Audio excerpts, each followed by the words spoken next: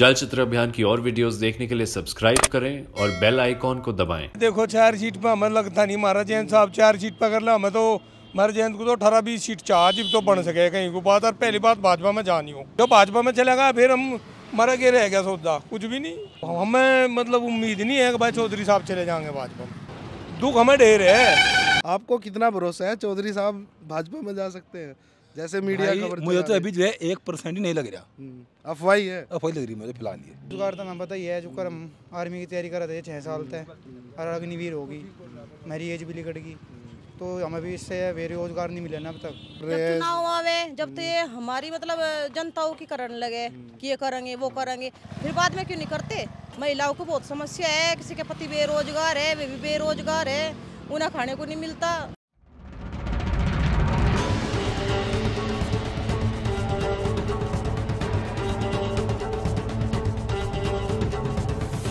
CCA में आपका स्वागत है। हम उत्तर प्रदेश के बागपत लोकसभा सीट पर है और ये बागपत लोकसभा सीट का ही दोगट कस्बा है और ये बस स्टैंड है यहाँ पर। हम लोगों से बातचीत करेंगे कि इस बार 2024 के लोकसभा चुनाव को लेकर लोग क्या सोच रहे हैं क्या चल रहा है? बागपत लोकसभा सीट है ये। जी। तो आपका क्या विचार है हमारा विचार तो? ये है जब भाजपा को धरती पे घेर देंगे और हम हमारा तो अजीत सिंह है अजीत सिंह के खिलाफ हम कहीं जाते ही नहीं अजीत को वोट देंगे। जैन चौधरी को जितावेंगे और क्या यहाँ तो कुछ नहीं है सिक्का जैन चौधरी के अलावा यहाँ तो सब टोटल जैन चौधरी है। लेकिन कल की न्यूज़ देख रहे हैं आप? हम्म, मैं तो न्यूज़ घाट देखता हूँ। अच्छा। चलो मैं मैं बता रहा हूँ कल की न्यूज़ में यह है मीडिया जो है जो दिल्ली या नोएडा मीडिया बैठी है उसने ये कहा है सूत्रों के हवाले से कह रहे हैं कि भाई चार सीट पर गठबंधन हो रहा है जैन साहब का। जी। तो ये कितनी बात सच है कितनी अफवाह है? भाई देखो चार सीट पर हमें लगता नहीं महाराज जैन साहब चार सीट पे कर ला हमें तो महाराज जैन को तो अठारह बीस सीट चार जीप तो बन सके कहीं को। बात और पहली बात भाजपा में जानी हो। जो भाजपा में चलेगा फिर हम मरा के रह गया सौदा कुछ भी नहीं।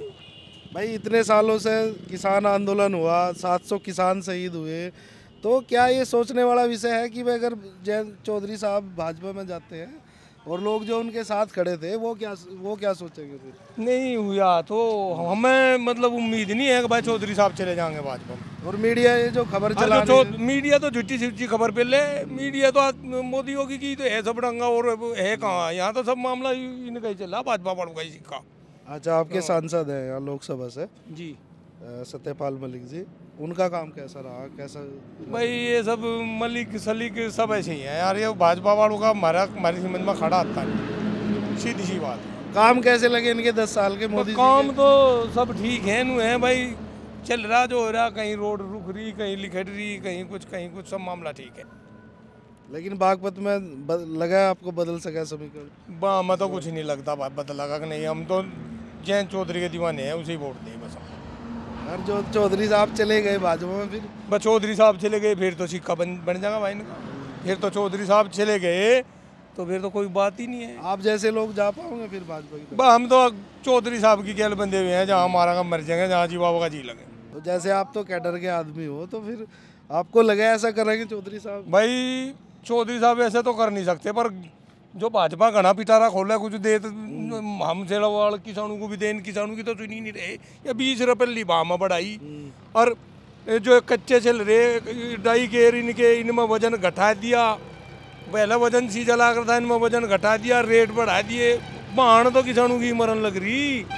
रोना तो हमारा ही है। दुख हमें ढेर है।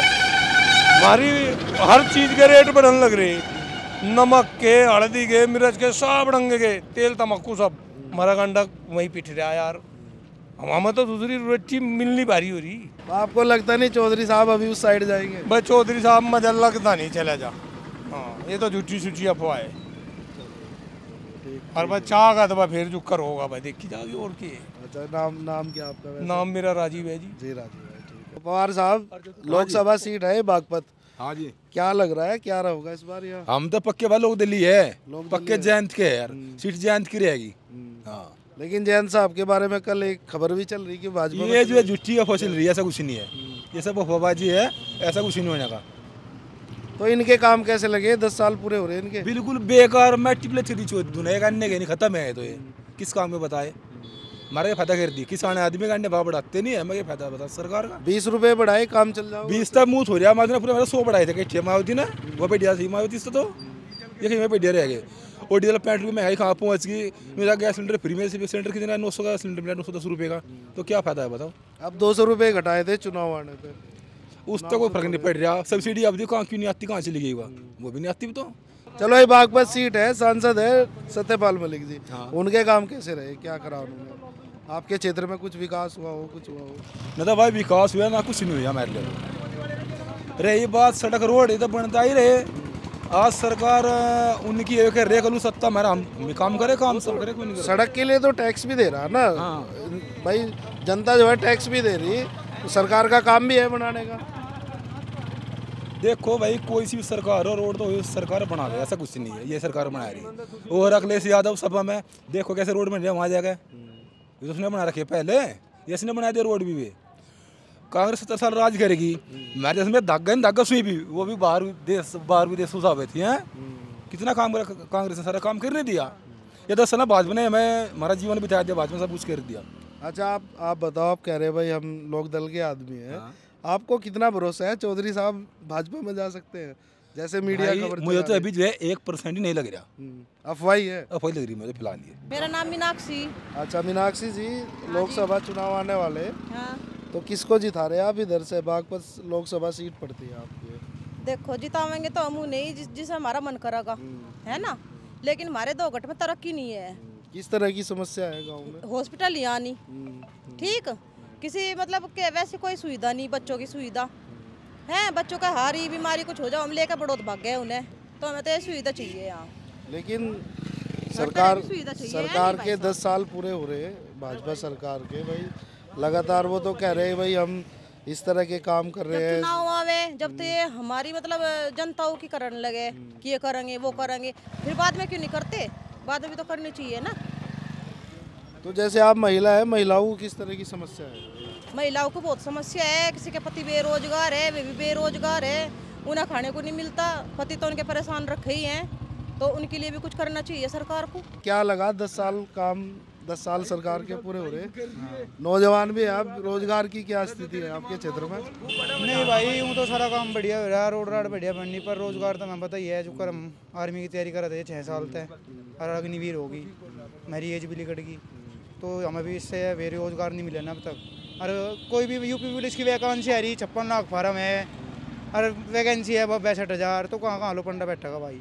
बस यही है समस्या बेरोजगारी नहीं है नौकरी दुआओ बात करो। हाँ अग्निवीर हटाओ आर्मी में तो। हाँ।